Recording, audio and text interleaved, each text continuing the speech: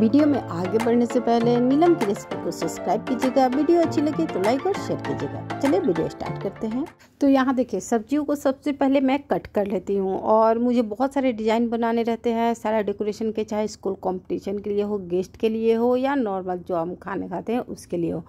तो यहाँ पे सबसे पहले मैं कट कर रही हूँ कैरेट ऐसे अभी मार्केट में ऑरेंज कलर के कैरेट आने लगे हैं क्योंकि ये रेड वाला कैरेट हमेशा विंटर में ही मिलता है। यहाँ मैंने कुकुम्बर लिया है। इन सभी को मैं सिंपल कटिंग आपके साथ शेयर कर रही हूँ। सभी को सर्कल सर्कल शेप में मैं कट कर रही हूँ। तो ये देखिए, कोई इसमें झंझट नहीं करना है। एक बात और बताऊँगी आपको कि इन सभी की कटिंग जितनी आप बारीक, यानी कि जितनी पतली कर सकते हैं, उतनी पतली आप कर लें। फिर यहाँ पे लिया है मैंने बीटरूट बीटरूट काफ़ी बड़े साइज़ में होते हैं तो आप कोशिश कीजिएगा कि बीटरूट आप छोटे छोटे साइज़ के लें, क्योंकि मार्केट में बड़े छोटे दोनों साइज़ के आते हैं। और अगर आपको नहीं मिले बड़े साइज़ छोटे साइज़ का तो आप बड़े साइज़ को लेके और बीच में हाफ़ करके और फिर इसकी कटिंग कर सकते हैं। तो यहाँ पे देखिए बीटरूट मैंने कट कर लिया कैरेट कट कर लिया। अब यहाँ पे आपको मैं बता रही हूँ कैबेज कैबेज को भी छोटे छोटे पतले पतले टुकड़ों में कट कर लेंगे। एकदम बहुत सावधानी से पहले लंबे शेप में कट कीजिए और उसके बाद छोटे छोटे टुकड़े कट कर लेंगे। आप सभी के क्वेश्चन होते हैं कि मैं कौन सा नाइफ यूज़ करती हूँ या सैलड के लिए कौन सा नाइफ बेस्ट होता है? तो एक बात आपको मैं बता दूँ कि सैलड के लिए आप थोड़ी सी शार्प नाइफ का यूज़ करें और इसमें क्या होता है कि आप जिस नाइफ को पकड़ने में कंफर्टेबल हो, उस नाइफ को आप यूज़ कर सकती हैं। उसके बाद देखिए मैंने टोमेटो लिया है। टोमेटो का मुझे छोटे छोटे टमाटर का काम था तो इसलिए मैंने इसको हाफ़ किया। उसके बाद साइड से इस तरह कटिंग कर ली। तो चलिए अब बताती हूँ कि इसको डेकोरेट कैसे करना है। तो अब यहाँ पे एक प्लेट लेंगे और जो मैंने टोमेटो कट किया था, उनको पहले साइड में इस तरह सर्कल शेप में हमें डेकोरेट कर लेना है।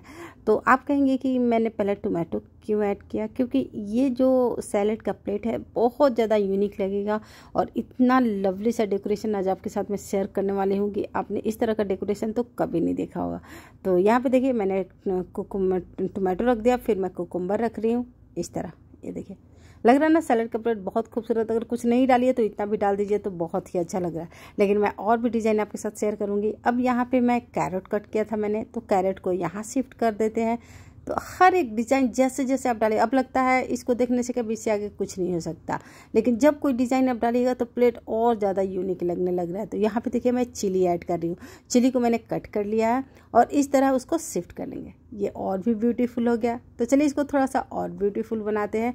तो उसके लिए आपने देखा होगा कि पतले पतले जब कैरेट होते हैं उनको स्टार्टिंग में काटिएगा आप तो आप उसका आगे वाला हिस्सा इस तरह छोटा छोटा होता है।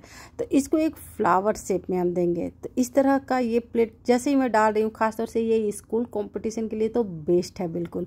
तो ये डिज़ाइन कितना सुंदर लग रहा है। जैसे मैंने इसको डाला तो लग रहा है, अब तो कोई डिज़ाइन बन ही नहीं सकता, ये बहुत ही परफेक्ट है। लेकिन इसमें और भी डिज़ाइन हम बना सकते हैं। तो ये डिज़ाइन देखिए कितना अच्छा लग रहा है। अब इसमें क्या चेंजिंग आप कर सकते हैं, वो मैं आपको दिखा रही हूँ। तो बीच वाला स्पेस खाली रह गया है। तो चलिए यहाँ पे हम कुकुम्बर डाल लेते हैं। आप यहाँ पे कैरेट भी डाल सकती हैं या यहाँ पे आप टोमेटो भी ऐड कर सकती हैं बीटरूट भी ऐड कर सकती हैं। तो यहाँ पे देखिए, लेकिन मैं यहाँ पे कुकुम्बर ऐड कर रही हूँ। तो इस तरह सर्कल सर्कल शेप में मैंने डिज़ाइन डाली है। तो ये कितना ब्यूटीफुल लग रहा है। अब यहाँ पे बीच वाला हिस्सा रह गया खाली।